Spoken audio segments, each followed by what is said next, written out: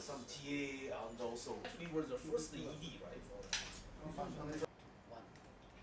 Yeah, 41, I see. So not interested in giving us director's post.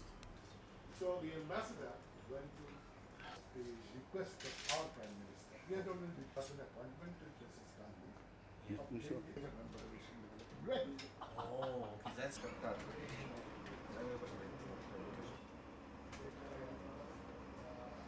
so look at the escalation rate. Annual six, seven hundred million থেকে in, three years পাঁচ billion dollar.